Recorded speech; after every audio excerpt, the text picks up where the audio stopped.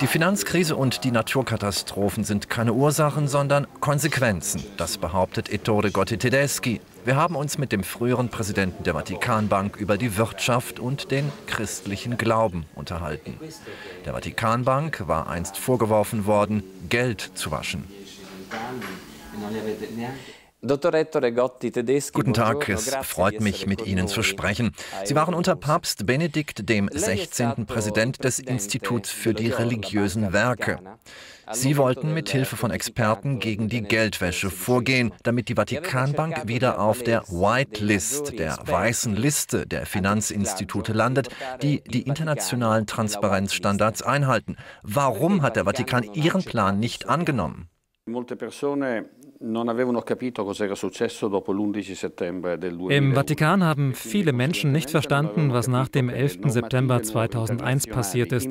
Sie haben nicht verstanden, dass die neuen internationalen Regeln, die für die Banken gelten, verschärft werden würden. Zweitens fürchten viele Menschen im Vatikan an Souveränität zu verlieren, falls sie diese neuen internationalen Regelungen akzeptieren. Drittens, und das ist eine Frage der Kultur, hielten viele Menschen die Kontrollen Kontrollen nicht für legitim, denn im Vatikan gibt es Sachen, die man verteidigen muss.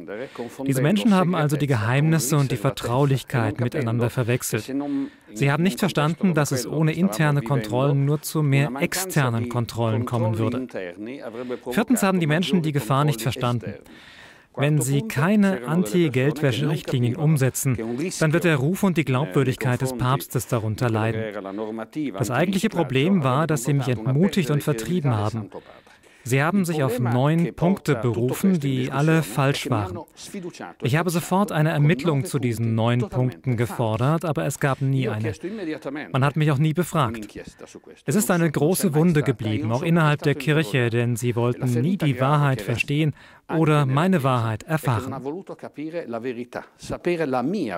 Als sie plötzlich entlassen wurden, hatten sie Angst. Sie fürchteten um ihre Sicherheit und sie haben eine Akte über die Geheimnisse der Vatikanbank zusammengestellt.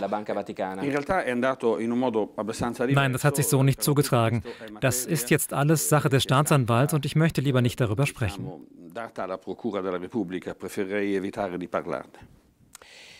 Laut Maneval, dem Expertenausschuss des Europarates für die Bewertung von Maßnahmen gegen Geldwäsche und Terrorismusfinanzierung, liegt mit den Finanzen der Vatikanbank vieles im Argen. Insbesondere die Geldwäsche ist problematisch. Wird Papst Franziskus in der Lage sein, aufzuräumen? Während meiner Amtszeit als Präsident der Vatikanbank hat Monival zwei wichtige Inspektionen durchgeführt. Die erste im November 2011, als der Ausschuss gekommen ist, um zu sehen, was wir im vergangenen Jahr gemacht haben. Seine Beurteilung fiel positiv aus. Dann im Dezember 2011, einen Monat später, wurden die Regeln der Vatikanbank in Bezug auf diese Probleme plötzlich geändert.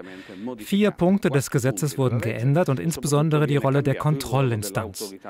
Dann kam der Skandal Vatileaks ans Licht und daraufhin schloss die Bank JP Morgan ihr Konto bei der Vatikanbank. Das machte viele Schlagzeilen. Monival ist im April 2012 noch einmal nach Italien gekommen. In seinem zweiten Bericht hat der Ausschuss festgestellt, dass die Bank einen Rückschritt gemacht habe. Einen Monat später war ich weg vom Fenster. Glauben Sie, dass in der Vatikanbank weiterhin Geld veruntreut oder unterschlagen wird? Ich weiß es nicht, aber wenn es kein Gesetz, keine Prozeduren und keine Kontrollinstanz gibt, dann besteht natürlich ein Risiko. Kann der Papst hier aufräumen? Wenn Papst Franziskus wirklich Maßnahmen ergreifen will und Reformen nicht nur ankündigt wie der italienische Ministerpräsident Renzi, dann muss er sich darüber informieren, was passiert ist. Anche Hollywood Sogar Hollywood verurteilt die Verbrechen und den Zynismus der Banken und Finanzinstitute in den USA. Ich denke da an die Subprimes und die Ramsch-Papiere. Ist es Ihrer Meinung nach ausreichend, wenn ein Banker gute Absichten hat, um die schädlichen Konsequenzen dieser Machenschaften zu begrenzen? In diesem Fall waren nicht die Banken, sondern die Politiker und ihre Berater die größten Zyniker. Sie wollten die Krise und den Fall des Bruttoinlandsprodukts stoppen. In der Hoffnung, die Schulden zu verringern, ohne eine wirkliche Entschuldung zu machen, haben sie die Urinstinkte der Banker geweckt, die immer so frei wie möglich handeln wollen. Einzelne Personen sind verantwortlich. Es gibt keine gemeinsame Verantwortung. Jeder muss wissen, ob das, was er getan hat, für ihn und für das Allgemeinwohl gut oder nicht gut ist.